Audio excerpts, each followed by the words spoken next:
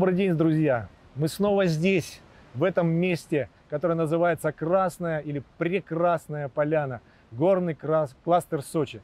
Сегодня мы поговорим о социальном проекте «Звездный десант». И с нами его основатель и вдохновитель Злата Чепурная. Здравствуйте, Злата. Здравствуйте. Рада с вами еще раз увидеться. Спасибо огромное. А, Скажите, пожалуйста, здоровый образ жизни, э, вы к нему как-то с детства пришли или все-таки были какие-то мотивы, которые побудили вас обратить на это более пристальное внимание? Конечно, я была обычным человеком. Н- У меня не было каких-то особенностей э, в отношении здорового образа жизни. А уже с- со временем, после того, как э, родился сын, я Мгм. начала обращать на себя внимание. Ну, в первую очередь я хотела вернуться э, в хорошую физическую форму после родов. Сначала я ходила э, в тренажерный зал, затем э, добавились уже э, оздоровительные банные процедуры. И в один момент э, я даже выпускала натуральную косметику для бани, для того, чтобы оздоравливаться изнутри и да. снаружи. Да-да-да. да. Далее прибавилось уже здоровое питание. Это вот так, знаете, как по крупицам. Сначала началось с одного, и собиралась вот эта цепочка вся вот по каждому звену. И уже э, в сознательном возрасте я подумала, что жизнь может быть какой-то другой, намного интереснее. И э, с этого момента начались, э, знаете, такие трансформации э, в моем сознании и в окружающей реальности. Потом это я все уже описала в своем пособии. Но все по порядку. Вот, э- вот это, это оно, да? Вот это вот пособие. Да, Мы о нем ЗОЖ- поговорим, да, еще. ЗОЖ-пособие. да. Это мое творение, как раз-таки мой жизненный опыт, э, описанный как раз-таки красочно, с Мгм. иллюстрациями, с наглядным примером. А, И уже, наверное, в 35 лет я поняла, что нужно действительно кардинально менять свою жизнь. А, Я перестала есть мясо, я перестала пить алкоголь даже на а, праздники. На Новый год у нас теперь на столе даже нет шампанского. И вся семья за мной потянулась. И это как раз-таки еще раз доказывает, что личный пример э, намного эффективнее, чем просто какие-то нравоучения со стороны. Все-таки вы э, в сознательном возрасте пришли даже достаточно взрослым человеком, на самом деле. Тем не менее, сейчас вы в одном из интервью говорили, что э, неплохо бы э, ребенку вообще при рождении давать некую э, инструкцию по применению, да, в которой можно было бы описать, э, как правильно, что называется, жить что, ну, с, э, с молодости, да, то есть немножко информировать э, людей с раннего возраста, да, об этом. Ну вот как раз-таки ЗОЖ-пособие на- называется Инструкция. «Инструкция по применению человеческого организма. Основы А. физической культуры, здорового питания и духовно-нравственного развития».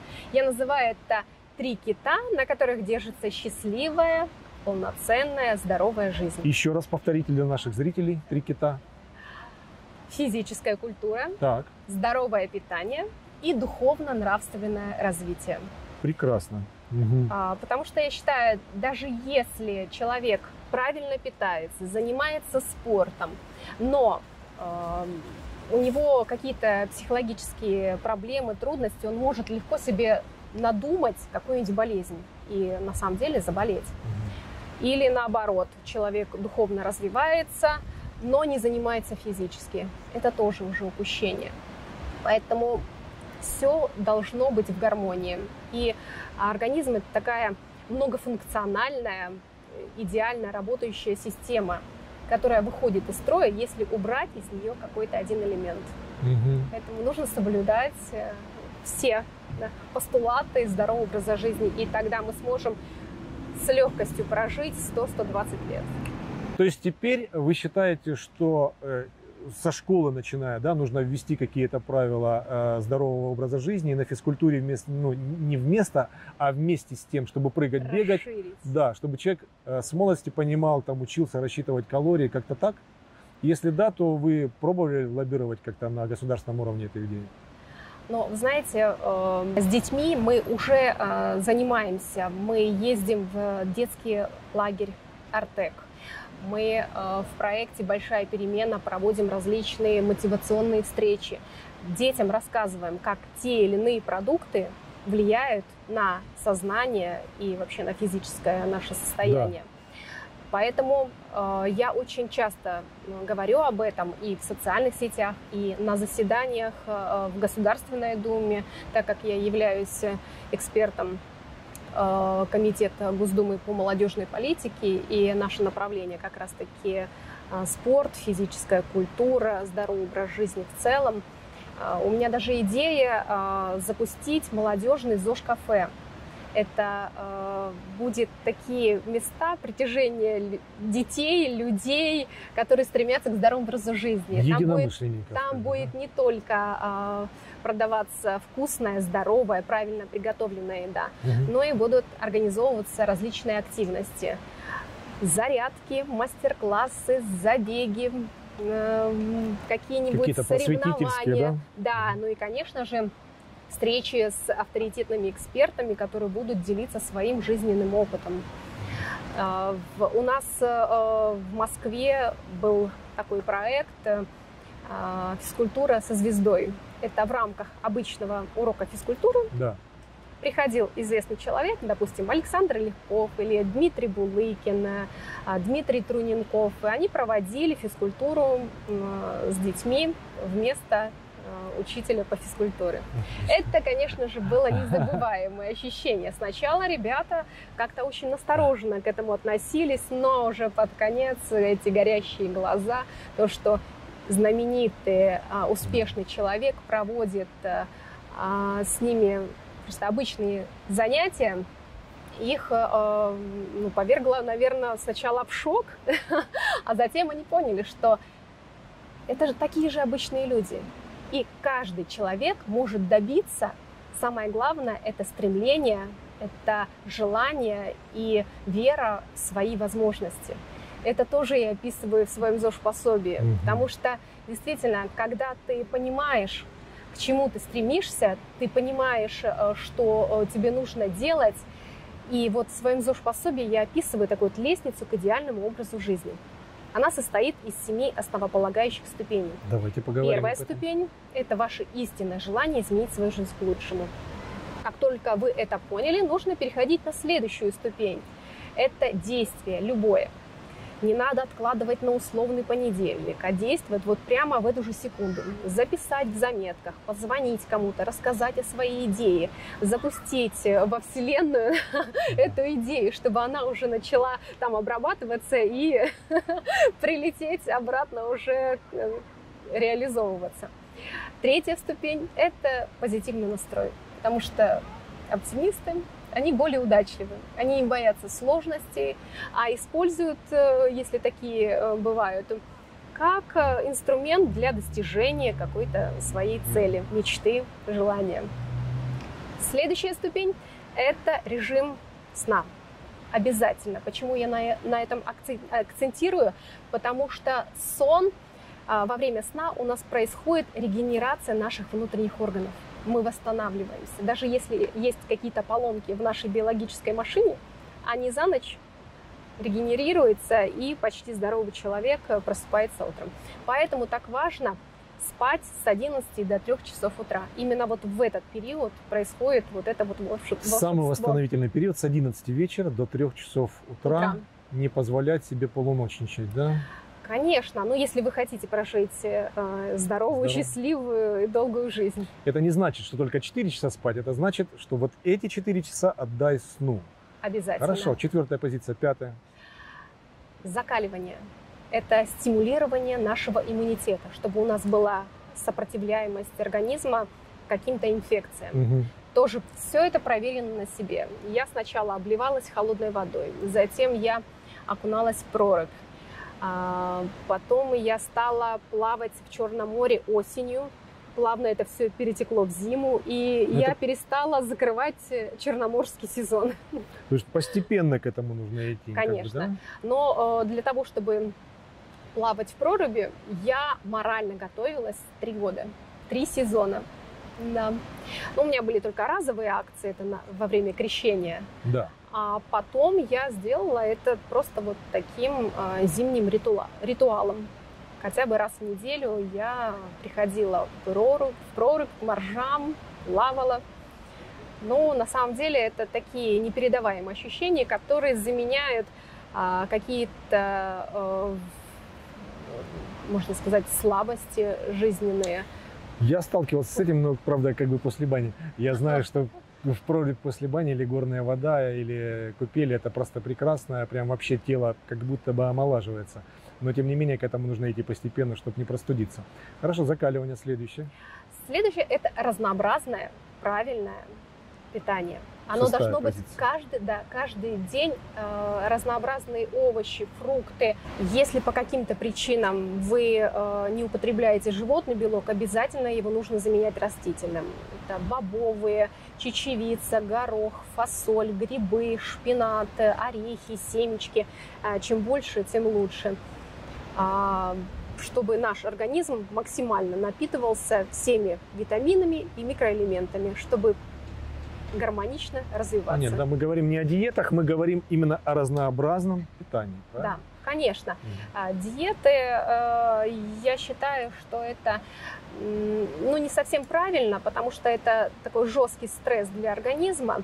Я э, иногда практикую э, суточное голодание на воде. Это такой называется период Экадыши, 11 и 26 лунные сутки. Но э, если, допустим, вы никогда не практиковали, не стоит Всё, э, да, переходить да. на воду Мгм. сразу, да. Если вы никогда не практиковали, просто уберите из рациона в этот день мясные продукты. Все, все животные белки. Это достаточно. Этого будет достаточно. Такой разгрузочный Да, день. скажем. да. Э, Быть на овощах, фруктах. Э, И с этого я и начинала. Потом у меня в процессе э, организм отказался от мяса. Да, это все вот именно накопительный эффект. Затем он отказался у меня от алкоголя. А потом я просто возненавидела фастфуд. Даже запах его не могу переносить, потому что я знаю, как он вредит нашему организму, тем более э, подрастающему Молодому. организму. Да. Ну да. И седьмое, бишь Конечно же, физическая активность. активность. Без нее никуда. Минимум, каждое утро должна быть зарядка. Даже вот в самом слове зарядка кроется ответ, для чего она нужна. Мы подзаряжаем свою биологическую машину для того, чтобы у нее была жизненная энергия на воплощение планов на этот день. Вот. Я даже, сформу- э, я даже сформулировала, э, что человек это совершенная биологическая машина, которая может как самовосстанавливаться, так и саморазрушаться. И эти процессы регулирует сам человек, то есть мы с вами. Мгм. Мы с вами, если захотим, будем здоровыми. Захотим, будем счастливыми. А нет, тогда и суда нет. Ну, убедительно, да, хорошо. Э, Скажите, э, вот движение «Звездный десант» роди- родилось в 2015 году. Вы рассказывали о том, что сподвигла вас на это история, которая называется «Гонка героев». Вы поучаствовали в э, этом э, движении. Э, Многие не знают, и я, честно говоря, впервые, после того, как почитал, впервые столкнулся с этим, прочитал, что это такое. Расскажите нашим телезрителям, что такое гонка героев, что сподвигло вас на создание проекта Звездный десант? Да, это, можно сказать, такая киношная история, которую я всегда рассказываю. Это главный вопрос, который мне всегда задают. В 2014 году я приняла участие в спортивно-патриотическом э, военном мероприятии. А, Это гонка героев, э, полоса, э, полоса препятствий, э, много различных э, таких сложных участков, которые нужно пройти. Не просто так, а еще и под э, канонаду э, холостых зарядов э, военной техники. Но если люди не знают, как звучит холостая артиллерия, то можно подумать, что это идут боевые действия. Ну, она не Мне это отличается было- ничем, на самом деле. да, по Мне, звуку, да. мне было очень страшно, не по себе, и так как это было вообще первое мероприятие, мандраж перед стартом был серьезный. А, и вот э, в тот момент, когда я проползала под танком, было очень много грязи, воды, и он стреляет еще в этот момент. Я же говорю, это киношная история. Звон в ушах, э, практически белый шум. А, и вот этот момент, э, он настолько э, сильно на меня повлиял. И вот я считаю, что это катарсис моей жизни. Знаете, вот перевоплощение после того, как я выползла из-под танка, оно начало прям вот э, трансформироваться мое пространство. Это командная игра? Это командная игра, 20 человек должны вместе пройти все испытания. А самого слабого, естественно, нужно тащить за собой. Так это и было. А, и на финише была настоящая эйфория. Вот тогда я полюбила бег. Вот с того момента все в моей жизни изменилось. Да, благодаря гонке героев. А, и уже весной 2015 года я решила, что было бы здорово пробежать еще раз э, гонку героев, но уже со своими известными друзьями, для того, чтобы подсветить, можно сказать, эти мероприятия, сделать mm-hmm. их более популярными, mm-hmm. показать, что Россия это спортивная держава, именно вот собственным примером. Я рассказала своим известным друзьям. Позвонила Диме Булыкину, футболисту, Ильдару Кенкерли, чемпиону России по рукопашному бою, а, Ивану Гришанову, актеру. А, они приняли эту идею тоже на ура, сказали, классная да, инициатива, давайте ее развивать. И уже они начали приглашать своих известных друзей. А, Ильдар Кенкерли пригласил Сергея Харитонова. Э, Дмитрий Булыкин, э, Евгения Алдонина, Иван Гришанов, других наших известных актеров театра и кино. И вот таким образом у нас собралось 20 человек, которые дальше уже э, побежали гонку героев. Но перед гонкой героев мы уже прошли несколько таких тренировочных испытаний. Мы приняли участие в первой гонке ГТО в Зеленограде. Угу. А, нас туда пригласил Бату Хасиков, э, познакомил нас э, с Кириллом Щитовым, депутатом Мосгордумы. А, как раз таки он председатель комиссии по спорту и молодежной политике. Это вот именно наше направление. И с того момента мы подружились и начали принимать участие во всех мероприятиях, которые э, проводил Кирилл. Я его даже называю крестным отцом нашей команды. Понятно. Ну, теперь понятно, откуда взялось название «Звездный десант». Собственно, вы приглашали достаточно известных людей, чтобы популяризировать спорт да, и здоровый образ жизни. Да. Хорошо. За эти годы как-то э, поменялся состав «Звездного десанта»? Да, Или костяк остался? конечно. Есть э, тот костяк, который я уже озвучила. А, приходили и уходили некоторые люди. Ну, просто иногда бывает, э, не совпадают наши интересы, поэтому... Угу расходимся дружески. А команда разрастается. Сейчас у нас уже более 100 человек. Ух ты! Да. да. И не только в Москве. У нас есть представители в Южно-Сахалинске, Якутске, Новосибирске, Барнауле, Екатеринбурге, Перми, Казани, Воронеже, Волгограде, Краснодаре, Сочи, Геленджике. Вот это да! Ну, прекрасно, на самом деле. А над какими проектами сейчас работает э, Звездный десант? А, мы сейчас э, работаем над проектом «Экоцентр. Место силы».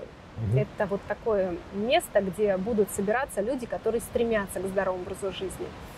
Обязательно там будут площадки для занятий спортом. Это панорамные виды. Мы будем там заниматься йогой или какими-нибудь единоборствами. mm Неважно, любая физическая активность, которая помогает развивать mm а, и тело, и душу. А, обязательно будут уличные направления, это туристические походы, если это в горах будет располагаться. Если на море, то водные виды спорта. Там обязательно будет банный комплекс для оздоровительных процедур. Кафе здорового питания, о котором я уже вам говорила. Да. Да. Потому что питание – это а, строительный материал нашего тела. И он должен быть качественным, чтобы наше наш дом не развалился да, к 50 годам. Там обязательно будут различные мотивационные встречи, э, как я уже говорила, тоже с авторитетными экспертами, которые будут делиться своим жизненным опытом. А эта история привязана к какой-то локации или тоже будет масштабироваться по всей стране? Конечно, будет масштабироваться. Но первый экоцентр мы хотим построить здесь, в горах Красной Поляны. А, второй уже на побережье в Сириусе. И эта идея, она как раз-таки пришла во время пандемии, и вот накапливается, как говорят, идеи нужно дать постоять, да? как mm-hmm. тесту, набраться силы. Я думаю, что мы уже готовы для того, чтобы его реализовать. А вы говорите о том, что здоровый образ жизни зиждется на трех китах. Значит, физическая активность, здоровое питание и духовное саморазвитие. Если человек а, начнет обращать на это внимание и заниматься этим, а, как быстро он может изменить себя? Сколько времени нужно организму, чтобы перестроиться? Ну, а, трансформации начинаются в человеческом организме а, спустя 40 дней. Ну, вот. это даже во всех святых писаниях описывается. Потому что как раз-таки через 40 дней начинается вот трансформация. Если вы от чего-то отказываетесь, то после прошествия как раз-таки этого времени вам уже это не нужно, не хочется. Mm. И вы уже э, видите эти изменения и получаете вот э, такой, знаете, заряд бодрости, можно сказать, задор, и вы не хотите уже прекращать. Открывается некое второе дыхание, да? Скорее всего. Есть такая шутка бытует, что а, здоровым образом жизни занимаются те, у кого нет уже здоровья, заниматься нездоровым образом жизни. А если серьезно, скажите мне, а, а, в каком возрасте есть точка невозврата? Или человеческий организм способен а, восстановиться в любом возрасте? А, я считаю, что человеческий организм а, может восстановиться в любом возрасте. Просто в зависимости от тяжести заболевания и возраста а, это делать э, ну, не то чтобы сложнее, а понадобится больше времени, больше усилий и внутренних, э, и физических. Чем старше человек, тем позже начинает, тем тяжелее дается. Ну, как ну, бы конечно. как и во всем, собственно. Да, да? Да. Как в любой профессии, в обучении и так далее. Скажите, вы э, родились, выросли в Москве, а теперь, насколько я знаю, очень часто даже практически перебрались в Сочи. Почему? Вообще я родилась в Ставропольском крае. Ставропольском? Да.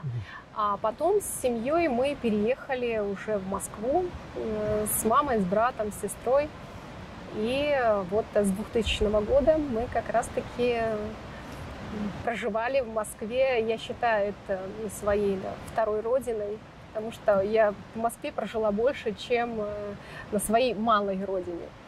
Но когда Началась пандемия, мы оказались в этом прекрасном месте. Заточенными мы думали, что на месяц, а оказалось, ага. что на три. И это прекрасное стечение обстоятельств поспособствовало тому, что мы приняли решение здесь остаться. Прекрасно. Но понятно, мы, да. конечно же, бываем в Москве э, по каким-то своим делам. Э, или, как я это называю, нестерпимым желанием да, внутренним побывать э, дома. Как раз таки вот через пару дней я как раз таки полечу Снова да, в, Москву. в Москву. Хорошо, скажите, пожалуйста, как наши телезрители могут присоединиться к проектам Звездного десанта, как спортивным, так и э, каким-то экологическим? Где да. мы об этом можем узнать, почитать? У нас не только спортивные мероприятия, мы проводим экологические акции, убираем мусор, парках, на берегу моря, на берегу реки или просто в лесу. А, мы сажаем деревья на месте сгоревшего леса, сажали в Красноярске, в Тюмени, в Подмосковье. А, у нас есть благотворительные мероприятия. Мы ездим в детские дома с какими-то тоже показательными выступлениями, мастер-классами или мотивационными встречами. А, мы проводим тоже образовательные когда рассказываем о своем жизненном опыте. Э, к нашим мероприятиям могут присоединиться все желающие. Э, можно заходить на наш сайт э, «Звездный десант», либо на страничку ВКонтакте команды «Звездный mm-hmm. десант», социальный проект команды «Звездный десант». И Там есть информация. Конечно, да. Там И по нас, городам тоже. у нас э, там информация, анонсы и Мгм. пострелизы. Мы рассказываем о том, что мы провели. Скажите, э, после вот стольких лет, э, во-первых, активной э, физической работы над собой, да, потом все-таки у вас активная общественная деятельность. Как вы себя сами ощущаете? Вы добились того, чего хотели? И какие советы вы можете дать тем людям, которые только становятся на этот путь? Два вопроса в одном. А, ну, нет предела совершенствования. Скромно. Это тоже, это тоже описано в ЗОЖ пособии. Но я сейчас лучше себя чувствую, чем 20 лет назад. Я и э, внешне стала привлекательнее, и э, внутренне ощущаю себя намного лучше, счастливее, можно сказать. И у меня э, даже вот здесь есть картинка, как я показываю э, свои трансформации спустя 20 лет. Это мы сейчас Здесь, полистаем да, крупненько на камеру. да. 21 год и 41 год. Браво, да, браво. Хорошо. И какие советы мы дадим тем, кто стал на этот путь? Не останавливаться на достигнутом. Если вы чего-то хотите добиться, сложно бывает, да. Берите перерыв, тайм-аут, и дальше с новыми силами отправляйтесь за своей мечтой. А когда у вас внутренние правильные, благие, намеренные, э, благие намерения, тогда Вселенная вам помогает. Это тоже на своем примере все испытано. Бывают такие волшебные э, обстоятельства складываются таким образом, что ты просто не понимаешь, как так могло произойти, а это случается. Спасибо огромное. Слушайте сердцем и следуйте за мечтой. Спасибо огромное. Сегодня с нами была Злата Чепурная. Ведите здоровый образ жизни, и вам воздастся. Спасибо. Благодарю.